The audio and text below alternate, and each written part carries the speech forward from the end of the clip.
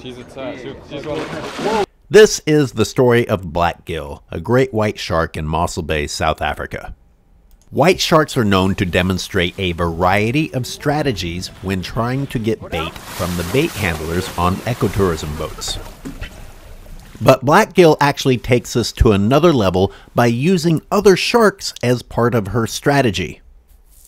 It may sound crazy to the viewer, but for the people that are there, they swear that shark knows that the presence of another shark will distract the bait handler just long enough for blackgill to come in and take the bait. Case in point, Dan Abbott loves blackgill, and he is desperately trying to get footage of blackgill, and he's watching for her, watching for her, watching for her, nothing, nothing. When is it going to happen? Blackgill has been spotted that day. It's just a matter of time.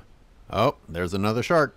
That should have been a pretty good warning. But right when Dan is looking away and contemplating filming the other shark, bam! Blackgill moves in and successfully steals the bait once again.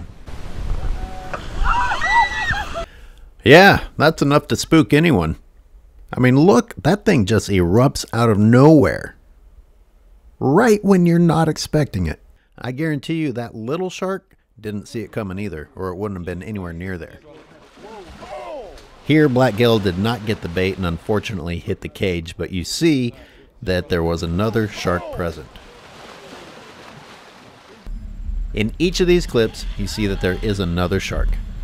Shark, blackgill. Shark, blackgill. By far, blackgill has the best success record against all the bait handlers in Mossel Bay. Try and last more than 10 seconds this time. Anything other than a great white that outsmarted me, I'd have been upset with the fish outsmarting me, but these guys